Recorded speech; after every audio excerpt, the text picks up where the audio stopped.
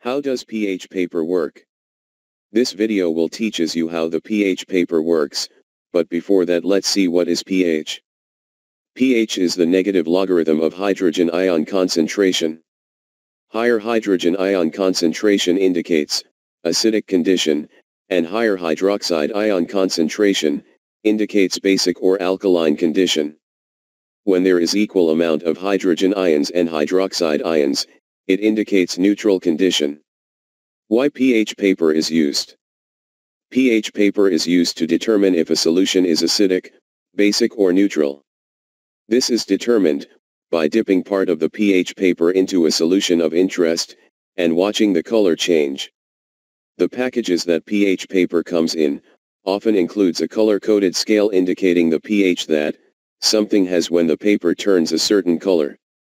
For instance, if the paper turns a dark greenish blue, the pH may likely be around 11 to 14. If the paper turns red, the pH may likely be around 1 to 4.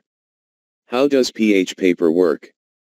The pH paper changes color, in different pH solutions is because of the chemical flavin.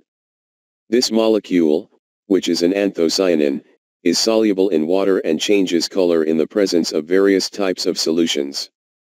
The pH paper is coated with this chemical, gives the property of changing color at different pH solutions. In the presence of an acidic solution, it turns red. In the presence of a basic solution, it turns greenish blue. In the presence of a neutral solution, it turns light green.